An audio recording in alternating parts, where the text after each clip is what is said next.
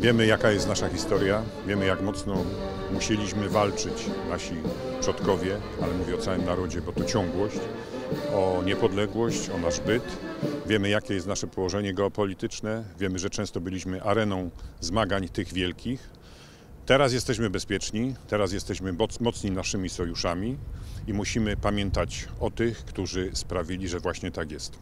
Dzisiaj z jednej strony obchodzimy święto uchwalenia Konstytucji e, 3 maja, pierwszej w Europie, drugiej na świecie, ale dla Ślązaków e, ma jeszcze to znaczenie wybuchu trzeciego Powstania Śląskiego. 102 e, rocznica, która e, no, upamiętnia również ten zryw powstańczy, który był zwycięski i doprowadził do tego, że, że Polska po 1921 roku mogła myśleć o, o zjednoczeniu z tą częścią Górnego Śląska. To się, to się udało dzięki heroicznej walce. E, Wielu bohaterów e, poświęciło nawet swoje życie, żeby, e, żebyśmy mogli cieszyć się naszą suwerennością i wolnością. A kształtowanie również demokratyczne, które miało miejsce w 1791 e, roku, pokazuje również intelekt, intelekt polskiego narodu. Piękne przeżycie, uroczystość podniosła, która wypełnia dumą nas Ślązaków przede wszystkim, bo przecież stąd Korfanty pochodził.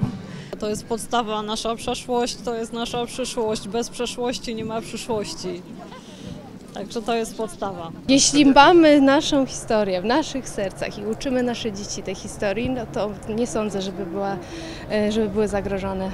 Szczególnie, y, żeby pokazać małym y, dzieciom, jak to wszystko wygląda, troszkę historii, troszkę